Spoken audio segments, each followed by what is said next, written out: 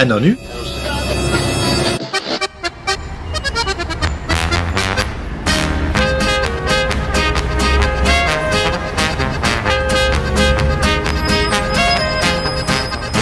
make a move to a town that's right for me. Hallo kijkers. Het jaar is alweer bijna voorbij. Wat, wat er in 2011 gebeurde, zet ik op een rij. Het lekkende lelijke stationsplein, dat blijft nog wel even. En dat is niet fijn. Files van auto's, ze blijven dagelijks staan. Met veel computers en camera's langs de rijbaan. Wat gebeurde er in Nijmegen toch allemaal? Ga zitten en luister naar mijn verhaal. In januari liep Nijmegen voorop in de tijd. Er kwamen stemmen voor onafhankelijkheid. Dan komt er in februari de grootheidswaanzin-idee. NIC moet uitbreiden tot TIP.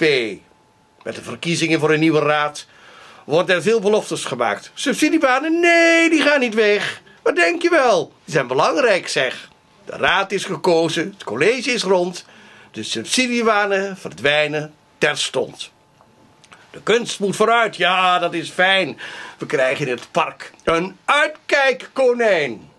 In mei krijgt Nijmegen een nieuw leuk pleintje op de Willemsweg, maar met zonder fonteintje. De crisis valt hier ook zwaar. We gaan nu weer voor een eigen munt, dat is gaaf. Het wordt de enige echte badhaaf. In de donjon wordt toch meer geld gestoken. Dat is niet wat er was afgesproken.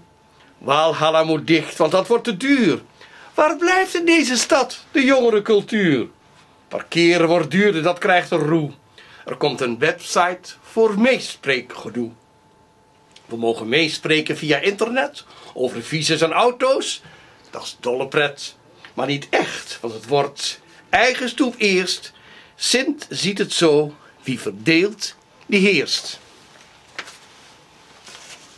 Tot slot van dit jaar nog een nieuw bericht. De burgemeester gaat weg. Er komt een nieuw gezicht. U vraagt zich af, hoe weet Sint dit allemaal? Hij leest het steeds op Nijmegen Centraal.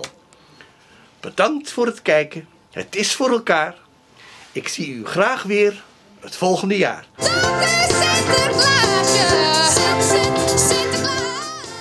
En eh, die lage waterstand en de nieuwe boven de stratenmaakstoren en die iPads die ze zichzelf cadeau hebben gedaan.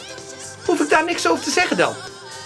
En dat de COC 40 jaar bestaat en een gevelsteen heeft gekregen. Staat er ook niet eens in.